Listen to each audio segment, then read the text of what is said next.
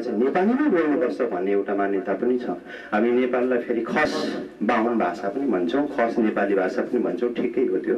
अब चामलिङ राई चामलिङ नेपाली भाषा बान्तवा नेपाली भाषा लिम्बू नेपाली भाषा भइसकेको अहिलेको अवस्थामा। हिजो अलिक अप्ठ्यारो थियो आज अप्ठ्यारो छैन। त्यसैले अङ्ग्रेजी शब्दको विशेष गरेर हाम्रो नेपाली भाषा विशेषज्ञहरूले नेपाली शब्द बनाउने त्यति दुःख कष्ट पनि गर्दैन। गर्नु गर्नुहुन्छ कि बा? तर त्यो थाहा भएन आरोप नलाइहाल्नु तर हामी त्यसलाई मुखमा जेबरमा लिनु त्यति सहज पनि मान्दैनौँ। यो दूरदर्शन भन्दो रहेछ भारतले। टिभी भन्छौँ हामी टेलिभिजनमै सीमित छौँ। त्यसको नेपाली बनाएको छ भन्ने सुनेको छु के हो मलाई थाहा छैन। तर नेपालीमा कम्तीमा पनि भाषा निर्माताहरूले बनाइसकेपछि त्यसलाई हामीले मुखमा जनजीवनमा जनजीवनमा ल्याउनु पर्ने हो ल्याउनु दुःख गर्दैनौँ। यहाँ म कुरा नोस्टाल्जिएको गर्दै थिएँ। यो परदेश लागेपछि प्रवास लागेपछि गाउँघरको खालको सम्झना एक खालको तृष्णा हुँदो रहेछ। जुनै पनि संस्कार संस्कृतिमा आफ्नो विभिन्न किसिमको चाडपर्वहरू जो हुन्छन् त्यस बेला विशेष गरेर आफ्नो गाउँघरलाई समुदायलाई समाजलाई घरलाई सम्झिँदो रहेछ मान्छेले।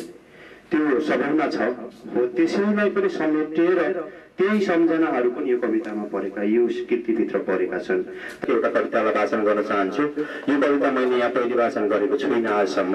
यो कविताको विषयमा अलिकति भूमिका भन्नै पर्ने भयो। किनभने यो गत साल प्रहरीको हातबाट अनहातमा मारिएका दिलबहादुर लिम्बूप्रति समर्पित र त्यो हत्याको विरुद्धमा लेखिएको कविता हो। दिलबहादुर लिम्बूको हत्या दिउँसो भयो दुई तिन बजीतिर र साँझमा काममा चाहिँ मैले कोरेको हो र एक दुई दिनभित्रमा तयार भएको कविता हो। दिलबहादुर लिम्बूप्रति अहिले त दुईपल्ट अन्याय भइसकेको छ। पहिलोपल्ट उसलाई मारियो। अनाहतमा उसको मृत्यु भयो त्यो एउटा अन्याय भयो।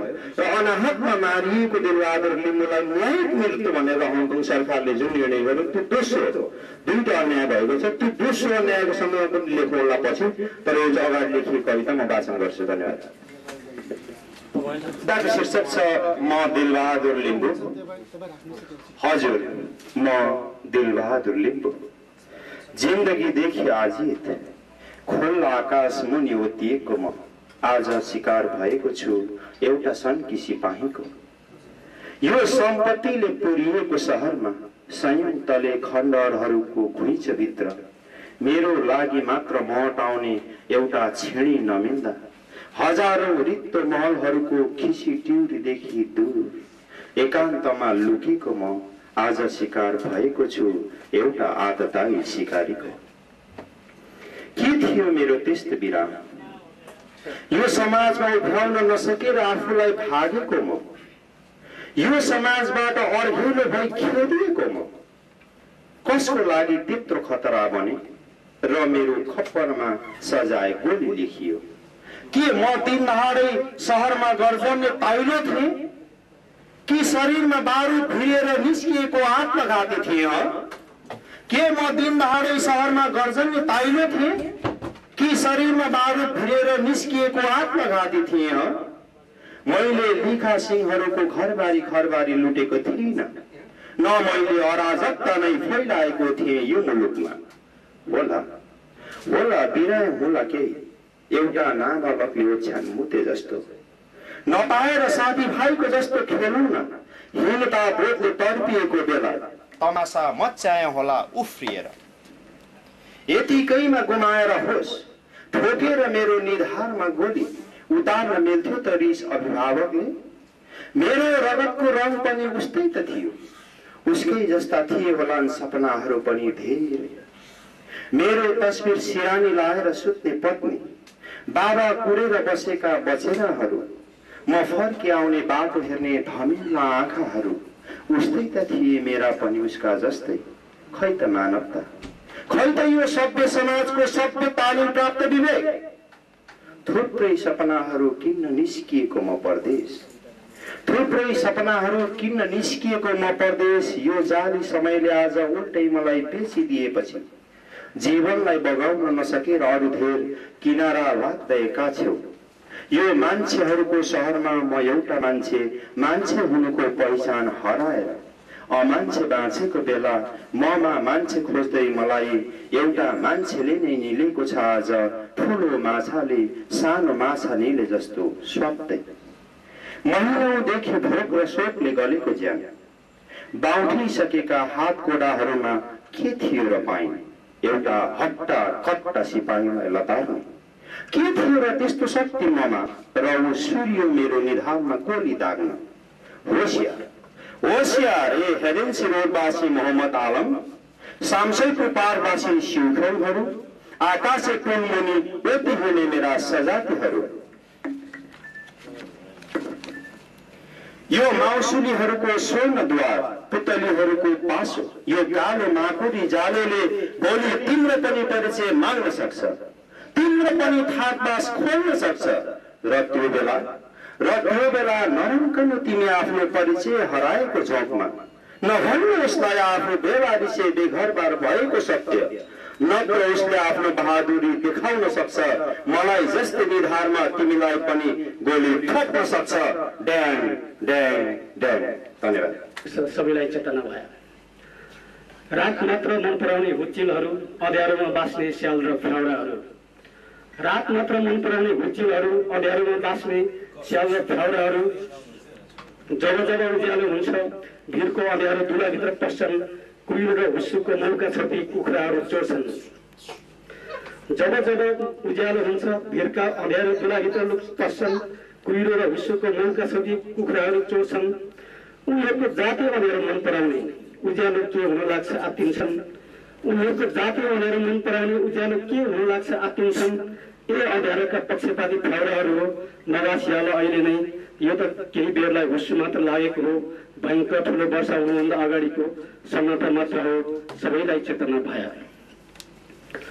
हे परजीविका वकिलहरू कति वर्ष वकालत तिम्रा प्रभुहरूको? हे परजीविका वकिलहरू कति गर्छ वकालत तिम्रा प्रभुहरूको? गाडी त अगाडि गुडाउनै छ गुडी नै रहेछ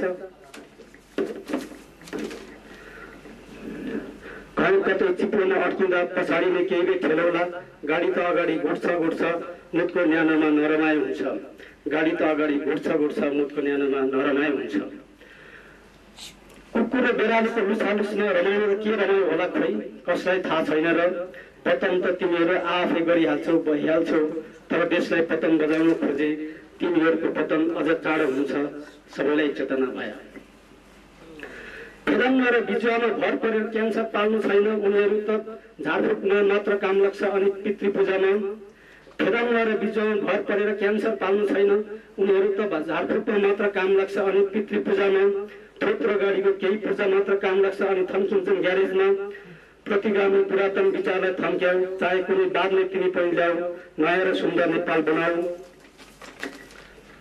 होइन भने छाडिदेऊ नयाँ औजार चलाउनेलाई नयाँ नेपाल बनाउनेलाई कम्तीमा जनताको म्यान्डेट मान सबैलाई चेतना भयो धन्यवाद।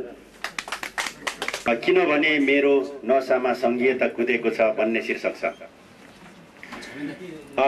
फालिदेऊ तिम्रा एसएलआरहरू सिरानी लगाऊ एम सिक्सटिनहरू फालिदेऊ लाप्सापमा तिम्रा अणुबमहरू थन्काइदेऊ तिम्रा फाइटरहरू चाबी लगाऊ ट्याङ्कहरूमा किनभने अब कसैको काम छैन। मेरा भूमिमा तिम्रा फाइटरहरू उड्न सक्दैनन् किनभने बुढा सुब्बाको मट्याङ्ग्राको निशानी बन्नेछन् मेरो भूमिमा तिम्रा बमहरू पड्किँदैनन् किनभने इतिहासले निर्मलीकरण गर्नेछन् मेरा भूमिमा तिम्रा मेसिन गनहरू पड्किने छैनन् किनभने काङ्सोरेले पानी भरिसकेका छन्। मेरो भूमिमा तिम्रा ट्याङ्कहरू हिँड्न सक्दैनन् तेलको ट्याङ्कीमा अरुण र मेचीको पानी भरिसकेका छन् भरिएका छन्। पर लैजाऊ तिम्रा युद्ध सामग्रीहरू मेरा भूमिमा आज नहाङमा मा नहाङमा आइसकेका छन्। मेरो भूमिमा आज मिसेक झरिसकेका छन्।